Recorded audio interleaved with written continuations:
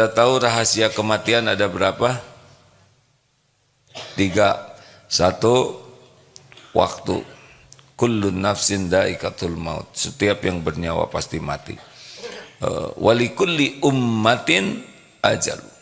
Fa idza jaa ajaluhum la yastakhiruna sa'ata wala. Setiap umat pasti mati. Walikulli ummatin ajalun. Ada ajalnya. Dan jika datang saat yang ditetapkan, la yastakhiruna sa'ata wa la yastaqdimun. Tidak bisa diakhirkan, tidak bisa dimajukan. Tidak ada yang mati kecuali cuma satu sebabnya. Time is up. Waktosna seep. Waktunya habis. Jadi kalau orang meninggal bukan karena sakit, bukan karena tertabrak, orang meninggal bukan karena bukan karena apa-apa. Cuman karena satu saja. Waktunya sudah habis. Bisakah dimundurkan? Tidak. Majukan? Tidak. Kalau kita yang ingin, ya. Kalau Allah mau, ya terserah Allah. Tapi kalau kita tidak bisa memundurkan, memajukan, walau sedetik. Yang kedua apa? Tempat. Kita akan mendatangi tempat kematian kita. Kalau meninggal di rumah sakit, di tempat tidur nomor itu, pasti kita ke sana. Kalau meninggal di tol kilometer sekian, kita akan ke sana. Pas nanti. Tidak ada yang meleset. Tepat. Yang meninggal di Darut Tauhid ada? Ada. Waktu itu manasik haji, pas habis Qiyamul kemudian tausiah seperti ini, terus turun dari tangga waktu masjidnya masih lama, masih belum diperbaiki seperti ini. Turun dari tangga, kemudian duduk di pinggir tangga. Lalu terkulai saja, kemudian digotong ke PKT Pusat Kesehatan Terpadu dan sudah meninggal.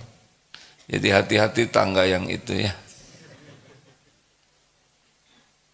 Ya maksud saya hati-hati saja.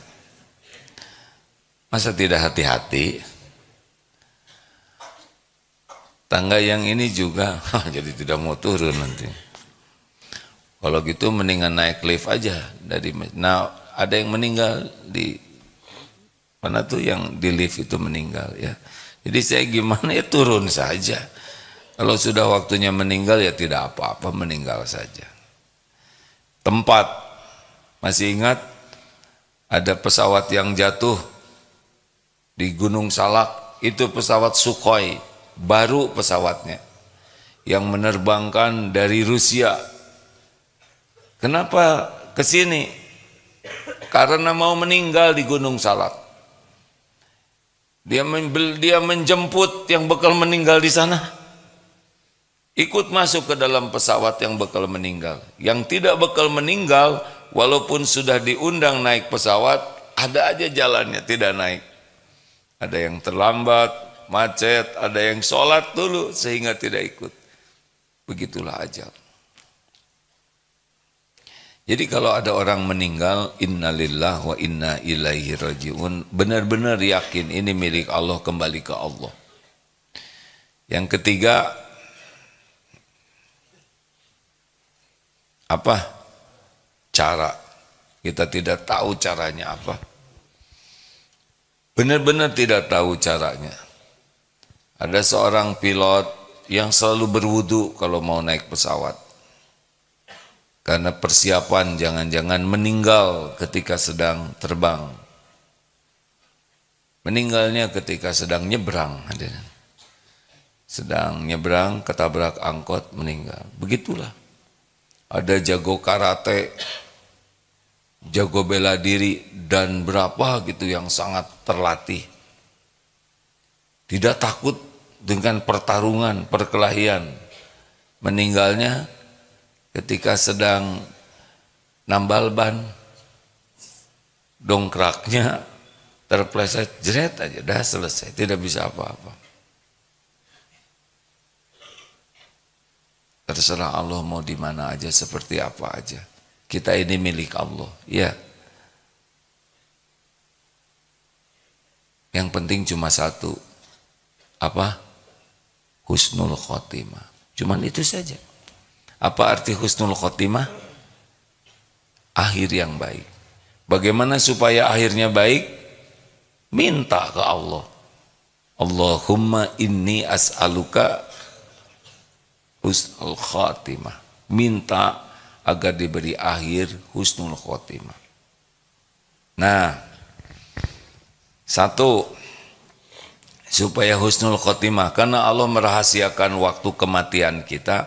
Ini teman-teman A yang seusia terus bergiliran ini meninggal. Ada sahabat sekali yang selama kuliah dulu eh ternyata ditanya suami kenapa pak nggak enak badan katanya nggak olahraga ya istirahat aja dulu. Eh dibawa ke dokter sebentar. Duhur masih senyum-senyum sesudah duhur dah pulang. Ini banyak teman-teman yang seusia sekarang sudah pada pulang duluan. Tapi kalau saudara masih muda mau duluan juga ya nggak apa-apa. Semuanya ada waktunya ya. Apa yang paling penting? Satu jangan menunda kewajiban Allahu Akbar Allahu Akbar ah, itu sudah sudah hak Allah tuh kewajiban sholat apakah amalan yang paling utama as-salatu ala waktiha. Salat tepat pada waktunya. Kalau ingin salat tepat waktu, datang lebih awal.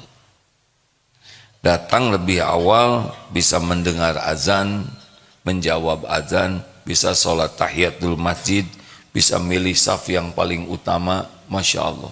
Bisa doa sesudah azan, itu mustajab. Nah dari azan ke komat itu kan mustajab. Kalau di luar susah kita doanya. Tapi di masjid kita bisa doa yang banyak. Sesudah sholat sunnah, nunggu komat, ada lima menit, ada tujuh menit, doa, doa itu saat mustajab. Masya Allah. Doa. Ad-doa silahul mu'min. Doa itu senjata bagi orang yang beriman. La yaruddu qada illa doa. Tidak ada yang bisa menolak qada selain doa. Musibah dari atas, doa dari bawah. Mana yang lebih kuat?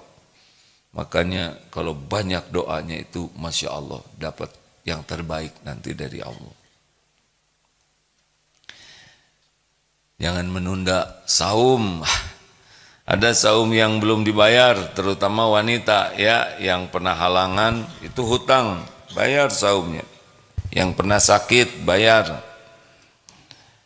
Zakat Jangan ditunda, bukan hak kita zakat itu, wajib. Haji kalau sudah mampu daftar.